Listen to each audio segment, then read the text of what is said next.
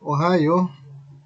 So para sa mga graduate uh, students natin, uh, ito ang uh, resulta ng ating uh, academic break.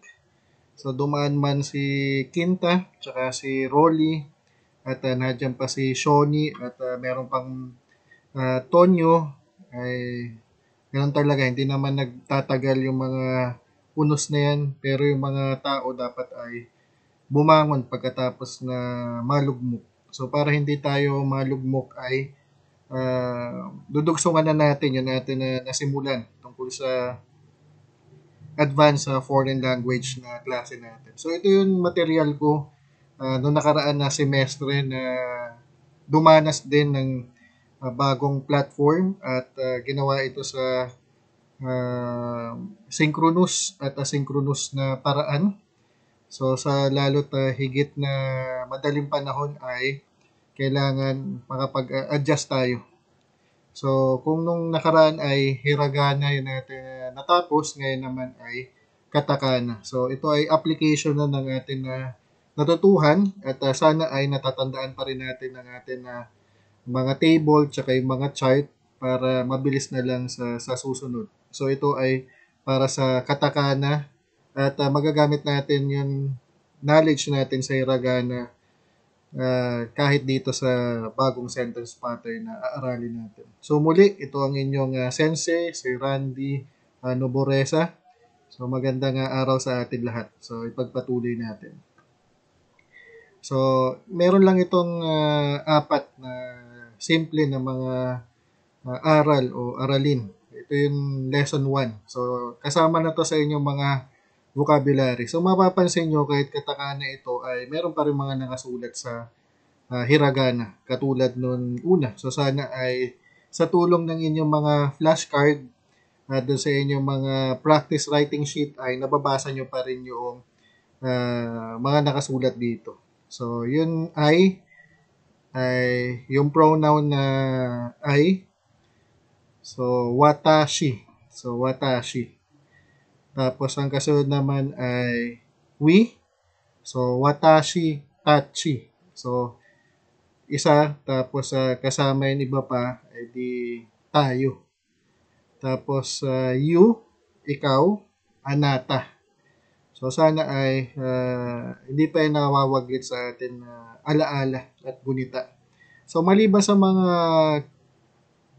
content words na nakuha natin sa uh, unang hati ng ating semestre, ay kukunin din natin yung mga function words katulad noong mga particles. So, nakalagay dito yung uh, sentence pattern.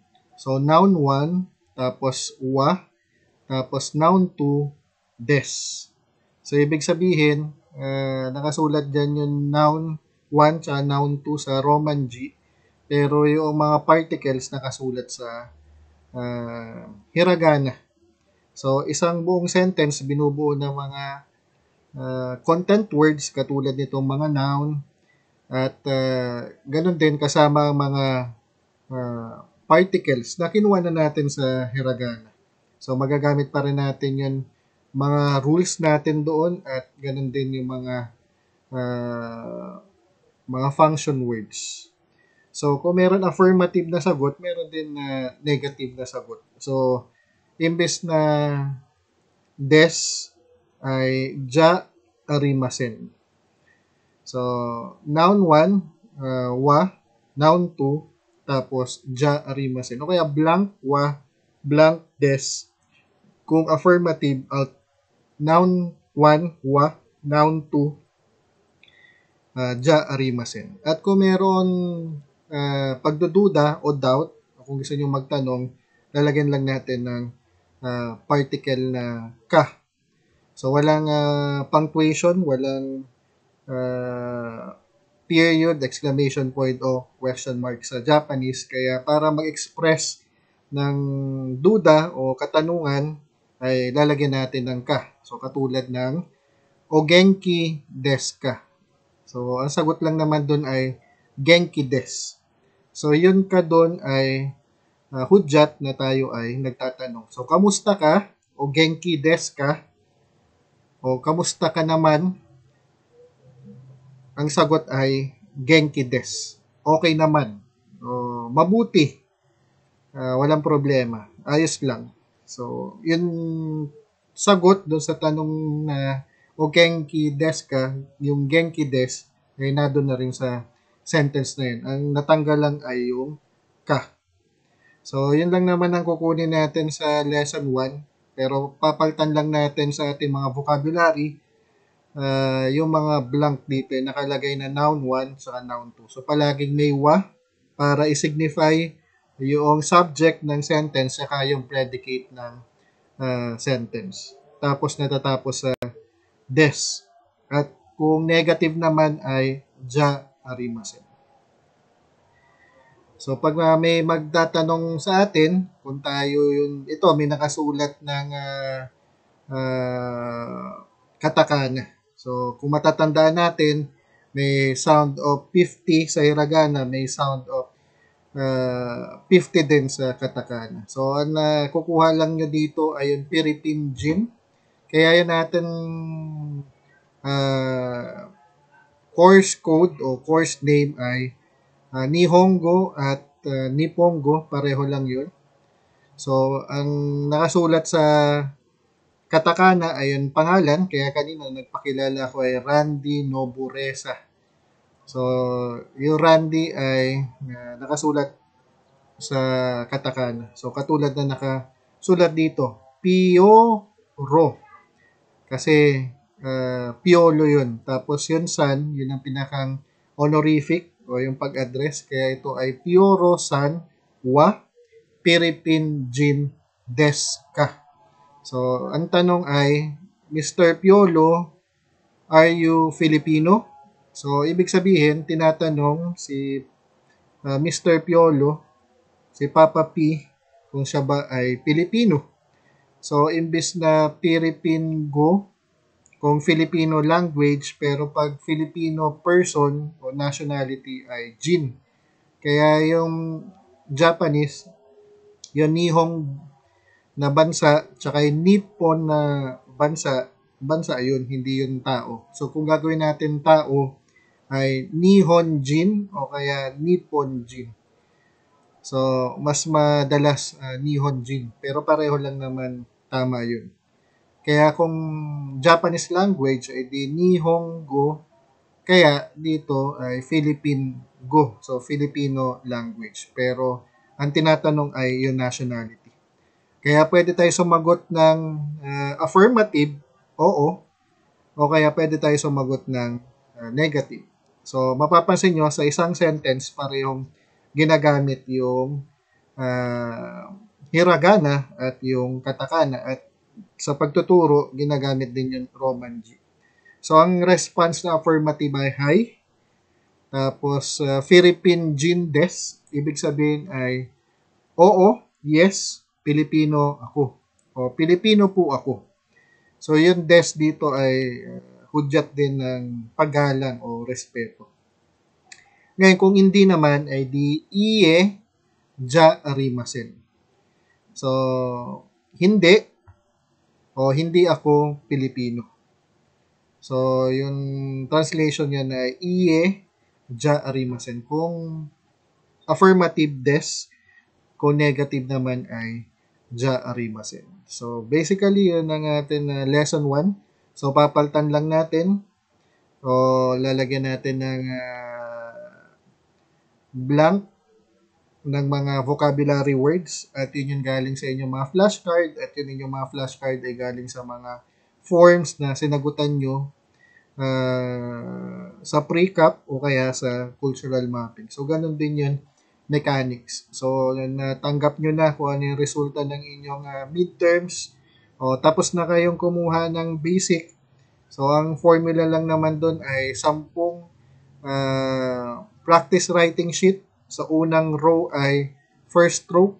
Sa second row ay first at second na stroke. At yung third ay uh, kompleto na. Regardless kung, ter, kung tatlo o apat o lima yun stroke. Basta kompleto na. At yung pangalawa naman natin kahingian ay yun natin mga uh, e-flashcard. So, imbes na i-print at i-laminate ay di uh, computerized na lang o soft copy yung gagawin. So mahalaga yun para sa atin na uh, klase sa advanced uh, foreign language. At doon sa kumukuha ng ad- ng uh, foreign language 2, eh, ganun din, mahalaga din yung uh, practice writing sheet, tsaka yung e-flashcard. So, kasama pa rin sa lesson 1, yung pagtatanong, interrogative uh, question. So, yung ano o uh, what sa English ay uh, none o nani. So, yun ang uh, tanong. So, papalitan lang naman natin. So, noun 1, wa, tapos kung ano ang uh, tanong. So, desuka. So, yung tanong. Di ba? Kanina ay des, dadagdagan lang natin ang ka. So, nakapagtanong na tayo. So, may mga interrogative uh, question na ang sagot ay uh, hi o iye lang. So, ibig sabihin ay uh, oo tsaka hindi lang yung sagot. Pero may mga ibang tanong din na iba ang sagot o mas specific yung sagot na nakuha natin sa hiragana. So, katulad nan, so kung anong araw, o nan-yobi. So, kaya yung happy birthday ay tanjobi. So, doyobi, getsuyobi, yun yung mga araw sa isang linggo. So, pag yobi, yung nakikita nyo sa dulo o narinig nyo, ibig sabihin nun ay araw. At pag tinatanong kung anong araw, katulad ngayon araw, uh, ang ngayon ay Kyowa, tapos ang Sunday ay Doyobi, so araw ng linggo uh, sa isang week o araw sa isang linggo, Nanyobi. So kung naman oras ang tinatanong ay Nanji. So alam natin yung Nan ay ano, tapos kanina Yobi ay araw sa isang linggo. So ano naman ang oras o time? So Nanji. Anong oras o anong hour? So time yung oras. Oras din yung tawag natin sa hour. Isang oras. So kung ano yung number, 1 to 10. So yun din. Ichi, uh, Nissan yun, go. So wa, kung mabibilang nyo pa rin yun, dadagdagan lang natin na G. So, yun yun. 1 o'clock, 2 o'clock, 3 o'clock, 4 o 5 o'clock. At tapos next ay uh, nan-gatsu. So, gatsu naman. So, tinatanong kung anong buwan sa isang taon. So, kung January, ay di yung unang buwan ay uh, Ichi. Tapos, dadugsungan lang natin ng gatsu. So, kinuha na natin ito noong uh, sa hiragana, sa basic foreign language at do sa mga undergrad natin ng mga estudyante. Kasama yan sa atin uh, unang handout para sa numbers at sa mga uh, oras sa araw at sa buwan. Tapos, ang panghuli ay uh, nan uh, nani Sa buwan naman ay uh, yung 1 to 10 ay hindi katulad ng uh, numbers na 1 to 10. So ito ay Nietzsche pero magsisimula lang yan pagkatapos ng 1 to 10. So iba yung uh, spelling o bye-bye doon sa araw na isang buwan. Kaya iba din yung araw sa isang linggo na may pattern. Yobi, ito ay wala Nietzsche. So, magkakameron lang siya ng pattern 11 hanggang uh, 31. So, yun 11 to 31, may Nietzsche na yun sa sa dulo. So, kadugsong nung number. Pero, yung 1 to 10, yung 14, mga special na mga uh, character yun. So, kailangan i-memorize pa rin yun at yun yung nasa uh, previous natin na, na lesson. So, kasama pa rin sa lesson number 1, yung iba pang mga tanong maliban sa interrogative uh, question na yes or no. So, yun nan uh, san, uh, nan fun, yun uh, fun ay second, tapos ito naman ay uh, nan uh, year, Sai, Sai, Sai, so non-Sai, eh kung ilan taon. So, number din yung sagot. So, hindi yes or no. So, ngayon kung tao naman, o who, eh di dare. At kanina, yung kay Mr. Piolo, kay Pioro-san, eh di Nanjin. So, pwede nyong palitan yun nasa unahan ng uh, Jin. So, kanina nakita, nakita nyo ay Philippine Jin. Tapos napakinggan nyo na uh, Nihon Jin. So, pwedeng uh, iba pang nationality yun pwede nyo ilagay. Dudugsungan nyo lang ng Jin. So, para makatiyak, eh, gumamit tayo ng dictionary o ng Jishu. Kaya nga ang tawag sa atin eh, continuation ng ating Pecha Kutsa kung nakagawa na tayo nun uh, dati, so itutuloy lang natin. Siyempre, hindi natin pwede ituloy lahat. Kaya pipili lang tayo kung ano yun uh, feasible. So, gentle reminder, so yun natin mga deliverables kahit tayo ay may mga break, ay kailangan pa rin natin na uh, maipasa sa takdang oras. At kung kinakailangan, mag-extend tayo. So, yun lang naman yun. Flexible lang natin na uh, mo, learning modality pero to a certain extent. So, parang kawayan tsaka mangga. So, pag hinipan ng hangin, so hindi dapat uh, mabali. So, kailangan ay flexible lang. So, move on tayo sa kasunod na lesson. So, ang in-establish naman natin ito ay ownership, group, saka relationship.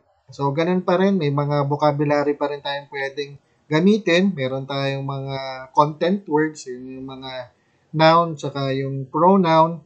Pero, uh, gagamit pa rin tayo ng mga particles at sa kaso na to ay no, saka des pa rin. So, para ipakita yung ownership, group tsaka relationship. So, noun 1, no? Tapos noun 2, para sabihin na akin ito o uh, pag-ari ko to. So, watashi, so yun ang pwede natin ipalit sa noun 1, tapos no. Tapos yung pangalawa ay i, no. So, yung ino sa vocabulary ay uh, aso. So, pwede naman natin na palitan. Kaya nga, meron ino ya siya. So, pwede nyo palitan ng pusa o ng octopus o ng uh, isda o kung ano man ang inyong pag-aari. So, watashi no ino uh, des. So, yun ino ay dog. So, sino ang uh, teacher nyo sa Japanese? Si ako. So, si Sensei Noboresa des. So, Nihongo no uh, Sensei des. So, yung teacher nyo sa Japanese language. So, yung, Jap yung Japan na bansa ay Nihon o Nippon, tapos yung Go ay uh, language. So, hindi siya number 5. At yung teacher ay Sensei. So, maintindihan nyo na yan pag uh, nakakuha na kayo ng hiragana. So, kung saan galing yung mga salita na meron uh, prolong na vowel na tunog, iti, yan yun. So, may mga pattern at may mga exemption. So, yun lang naman. So, syempre, yung teacher sa Nihongo, in-establish yung relation ng teacher tsaka ng mga estudyante. So, yung estudyante ay gakusei. So, yung gaku gaku ay school, yung daigaku ay mataas na paralan. Kaya yung mag-aaral ay di gakusei. At yung nagtuturo dun sa estudyante ay sensei. Kaya meron siyang dinedesignate na grupo tsaka ugnayan o relationship. So, dadagdagan pa natin yung natin mga pattern. So, noun 1, tapos may wa pa rin. Pero noun 2, tapos, uh, particle na no. Tapos, isa pang noun. Uh, des pa rin ang dulo. So, halimbawa, uh, Germany, pero ano yan, meron yan na sariling uh, translation. So, Deutsch, Deutschland. Pero, uh, example lang naman ito. So, Germany, wa, Nietzsche, no, tapos, uh, Okui, Okuni, Okuni des. So, kung saan siya galing. So, si Nietzsche, na philosopher, si Friedrich Nietzsche ay uh, German uh, citizen. So, pwede nyong palitan yan. Kung ano mang ilalagay nyo sa noun 1 o kaya sa noun 2. So, pinapakita dito na ang bansa ni kung sino man na tao ay yun. So, okuni. Tapos, uh, meron din tayong mga demonstrative na mga pronoun. So, may, may pattern din yan. So, yun, uh, kore, uh, are. So, yan yung mga demonstrative pronoun natin. So, pwede din maging uh, pwede din na uh, gamitin yan sa ating mga pattern. So, kone, watashi, no, wan, hondes. So, kore, watashi, no, hondes. So, yun hon ay libro. So, itong libro ay akin. O ito, ito ang aking libro. So, this is my book. So, pinapakita yung sentence pattern natin na uh, meron object at itong object na to ay ako ang may-ari. So, Kore Watashi no Honde. So, this is my book. So, pwede nyo palitan kung kanino yan o pwede nyo din palitan yung mismong demonstrative uh, pronoun kung ito o yaan na malapit sa nagsasalita at sa kausap at meron naman uh, pagkakataon na parehong malayo sa nagsasalita dun sa uh, kausap. So, pwede maging kore, pwede din maging sore o are. So, mapapansin nyo may pattern. So, yun, ito yung mga demonstrative uh, pronouns. So, kono, sono, ano. So, pag uh, translate natin sa Pilipino, yung unang set, yung natatapos sa re, uh, merong pang particle na kailangan. So, ito ay kore. Tapos, uh, wa. O sore, wa. Yun ay. O are, wa. Ayun ay. So, ibig sabihin, kailangan pa ng particle. Pero, pag uh, yung natatapos sa no, katulad ng kono, sono, ano, eh, diretso na. So, yung ballpen dito, uh, eh, di ballpen sa uh, katakana, sa Japanese. So, pwedeng diretso na. So, wala nang wa. So, imbis na kore no ballpen, uh, my, this is my ballpen, eh, pag kono, kono ballpen. So, diretso na. Itong ballpen na to, yung ballpen na yan o yun sa malayo, malayo sa nagsasalita dun sa nakikinig. Kaya yun ano hito that person over there. So malayo sa nagsasalita at dun sa nakikinig. So iba pang uh, example, so kono, so diretso na. Kono radyo. So yung radyo, radio. Tapos wa, yung particle na wa, Watashi Nodes. Itong radyo, itong radyo ay sa akin. So, meron pa rin relation, may demonstrative pronoun, may mga uh, noun na ilalagay natin. Sono kabanwa Roy-san Nodes. So, kay uh, Mr. Roy, okay, ginoong Roy, yambag na yan. So, malapit sa kausap yung object na bag doon sa nakikinig. Tapos yung malapit sa kusap pero malayo doon sa nakikinig. Ano Honwa Jojo Sandes. So, yung libro pa rin yun Hon. Yung ano ay That Over There kay Mr. Jojo. Yung libro na yon ay kay Mr. Jojo.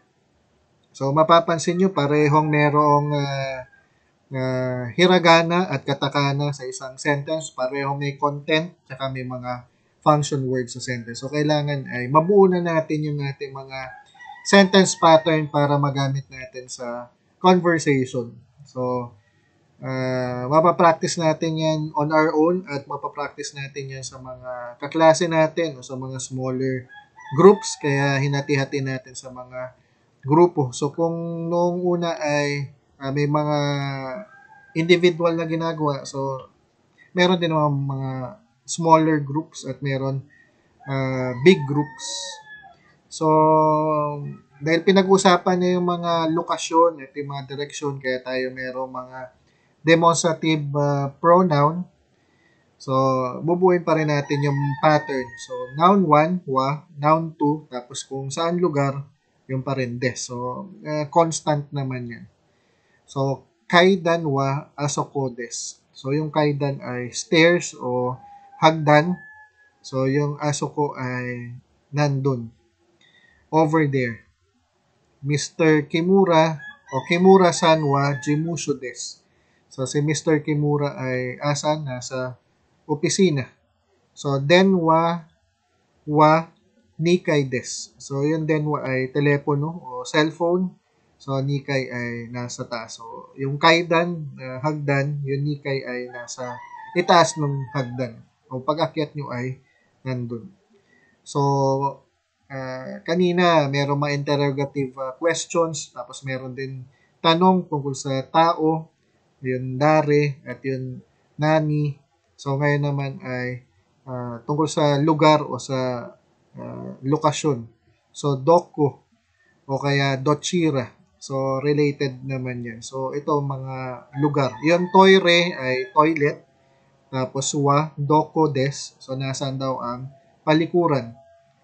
So, kung hindi naman palikuran ang inanak nyo, pwede nyo paltan. No, gagawin yung shokudu, wa doku des ka. So, nasaan kaya ang kainan? O where is the dining hall? Tapos yung binabanggit ko kanina, yung sensei, tapos yung gakusei, tapos ito naman yung school. Nani gakuwa doku desu ka. So what school are you from? Saan galing kang school?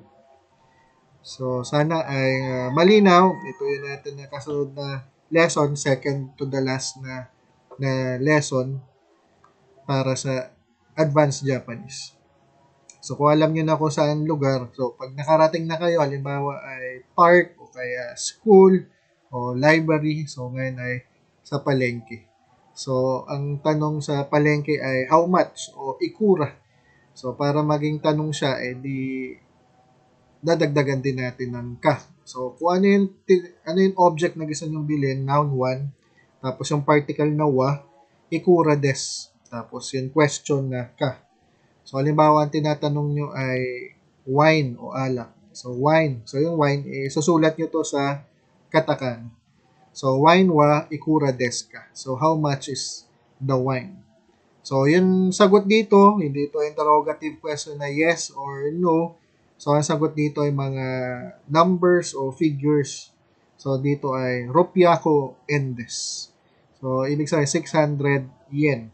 So, ang presyo ng uh, alak o isang bote ng alak ay Ropiaco Ende. So, syempre, conforme ko anong klaseng alak. So, mas uh, matagal o mas age, eh, malamang mas mahal. Kung uh, bago lang, eh, di baka mas mura. So, maliban sa mga function words na mga particle at mga content words na noun tsaka pronoun. So, isa pang part of speech na mahalaga natin na makuha. So, parang ito yung katumbas ng conjugation sa ibang wika, katulad ng Spanish.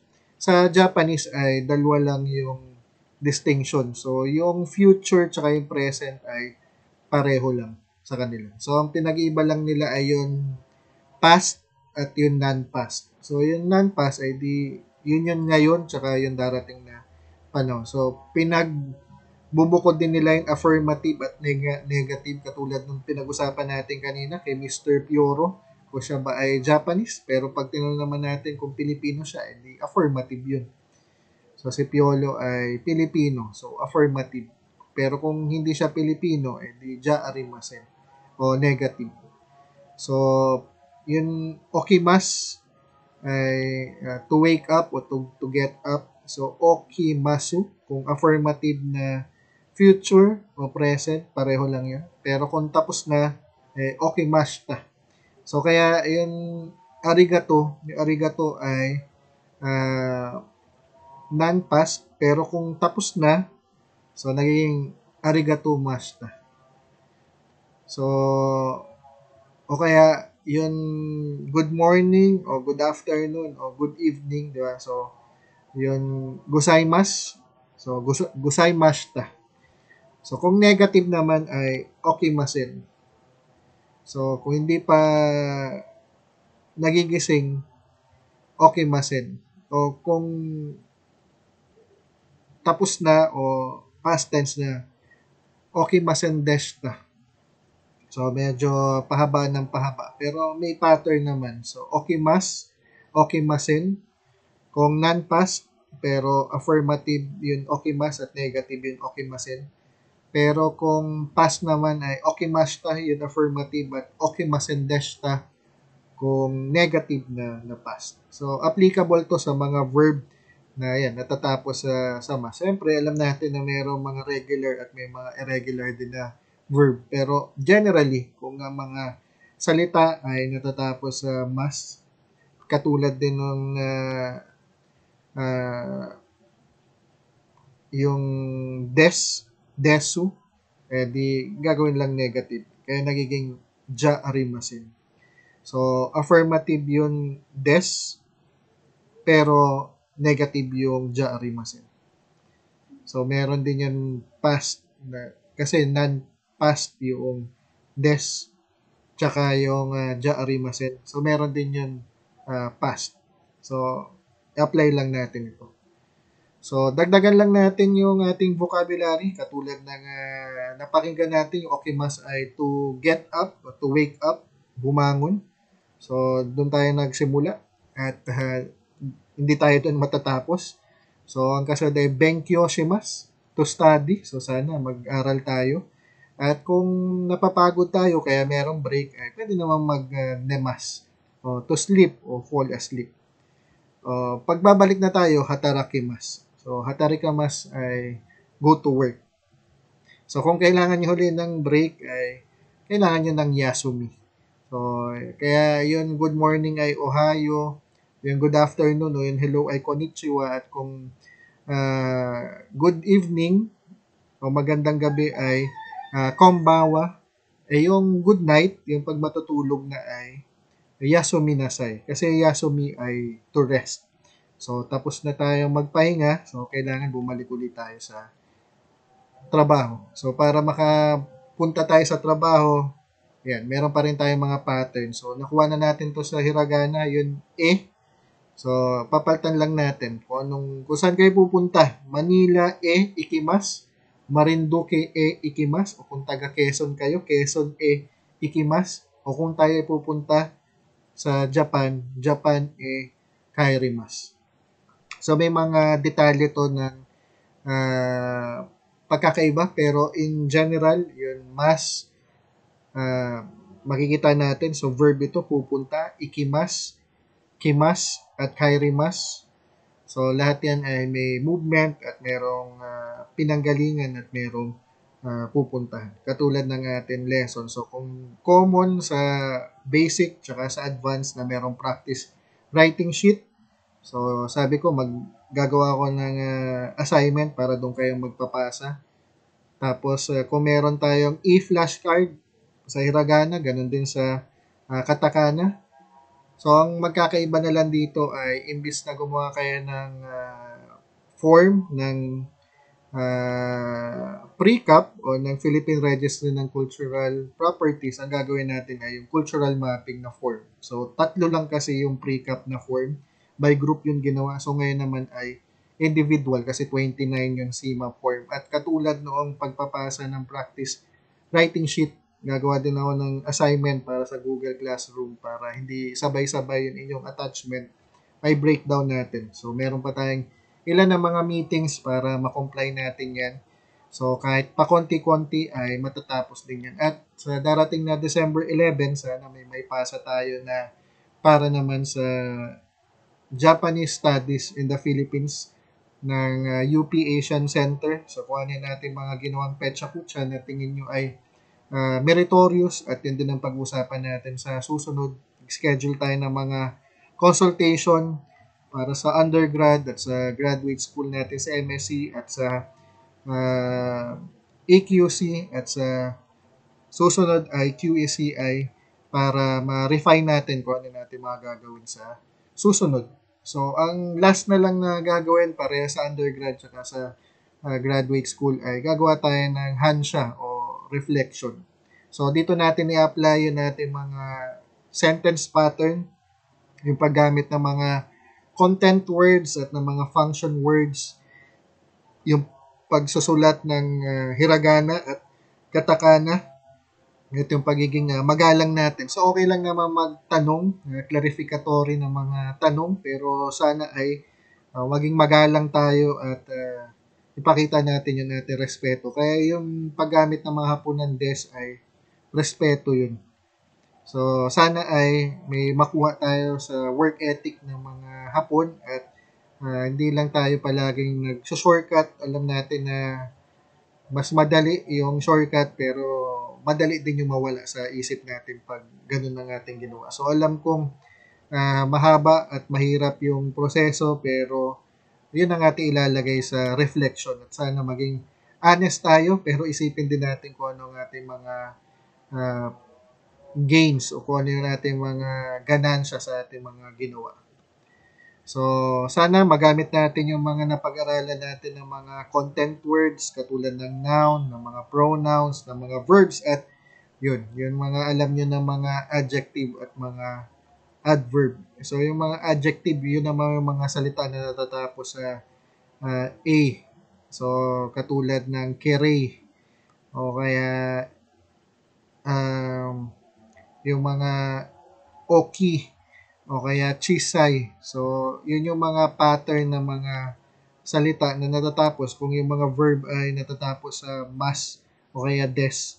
Eh, yung mga adjective naman, yung mga naglalarawan. So, mahalagang may sulat nito sa uh, reflection at huwag mag-rely sa Google Translate. Oo, madali yun gawin, kaya lang kung paano tayo nakarating doon, parang mathematical na problem, meron tayong sagot, may final answer tayo, pero kung wala tayong formula, wala tayong uh, proseso, ay di, di natin mapapaliwanag yun at hindi natin may tuturo yun sa iba at pag hindi natin naituro yun, edi uh, very limited lang yun natin natutuhan.